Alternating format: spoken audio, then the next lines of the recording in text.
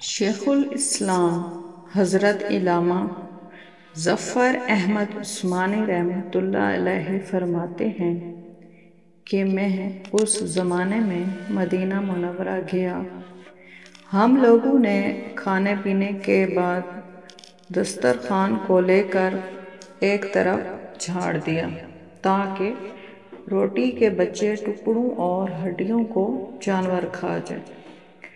थोड़ी देर के बाद जब मैं अपने कमरे से बाहर निकला तो ये देखा कि ये देखकर हैरान रह गया कि खूबसूरत नौ साल का बच्चा इन टुकड़ों को चुन चुन कर खा रहा है। मुझे सख्त अफसोस हुआ।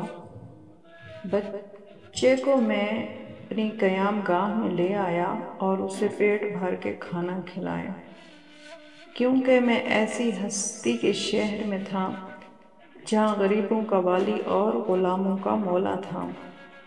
मैं इस, मेरे इस बर्ताव को देखकर बच्चा बेहद मुतासर हुआ और साथ चलते वक्त उसने कहा कि बेटे, तुम्हारे वालिद क्या करते हैं? मैंने उससे पूछा। उसने कहा, मैं यतीम हूँ। मैंने कहा, बेटे, मेरे साथ हिंदुस्तान चलोगे?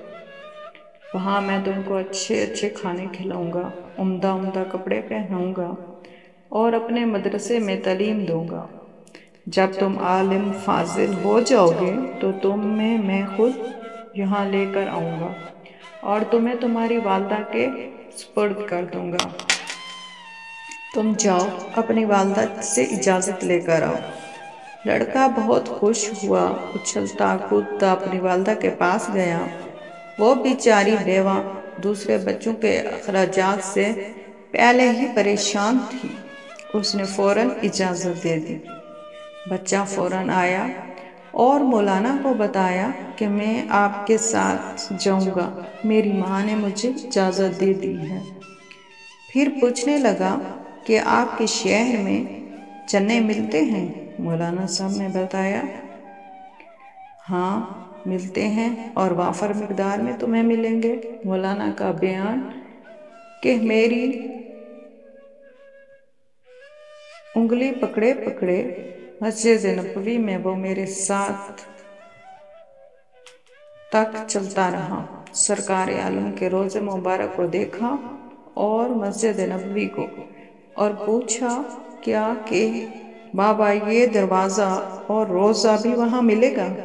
मैंने उसे कहा कि, बेटा, अगर ये वहाँ मुझे मिल जाता तो मैं यहाँ क्यों आता?